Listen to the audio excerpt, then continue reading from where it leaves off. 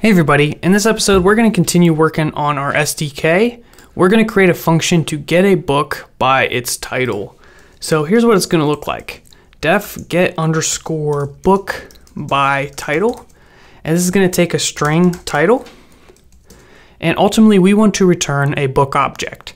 So we're going to get a reference to the cursor like so. And then we say with c dot connection, c dot execute and the SQL is going to look like this.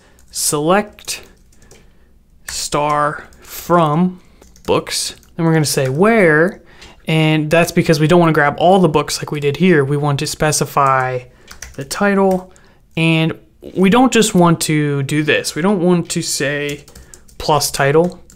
Anytime we're doing like string concatenation with parameters and building an SQL statement, this risks us for SQL injections.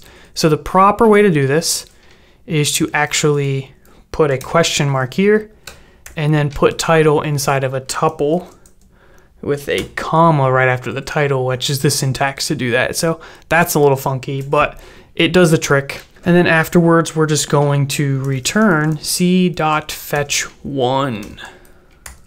So that's going to return a tuple but we'll just see if it's working first off, and we're going to invoke it over here. So we'll say print books SDK dot get book by title, and I'm going to pass in the only book in there. Are you my mother? And we'll see what we get. So running this, and we do in fact get an extra tuple down here at the bottom. So it seems to be working, which is awesome. But what I want to do is actually want to convert it to a book object because I want to be working with objects when we're working with this SDK and not always have to deal with objects and then tuples and so forth. So instead of this return here, we could just store this data.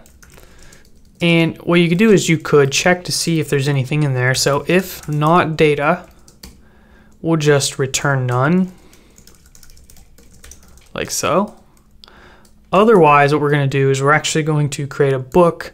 So we'll say return book, pass in data index 0 and data index 1, which will be the title and the pages. This matches the initializer for the book class, which takes the title and pages. All right, let's try it now. Let's go to, back to our calling code and run this.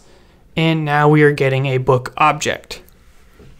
You could work with it like so. You could assign it to a book variable and then we could say print type book and it'll show you that it is in fact a book.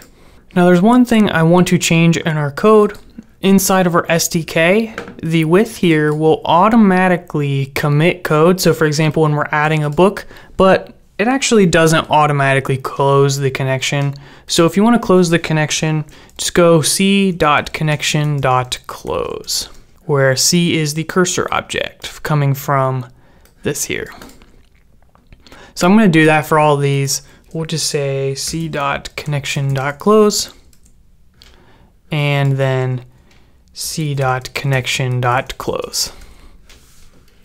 All right, so right now we have the option to add a book, get a book, and get a book by title. I think some pretty cool options that you could do would be to update a book. So you pass in probably three arguments. The first one being a book object to update, and then a new title and possibly a new pages.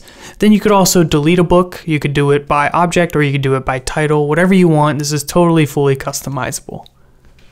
I have some examples of how to do that up on my GitHub, but I think that's good for SDK right now. We might add more as we go. Next up, I want to use our SDK because we're going to actually create a first a console application, then a graphical user interface. Oh yeah, working with these books. So stay tuned, it's going to be a whole lot of fun.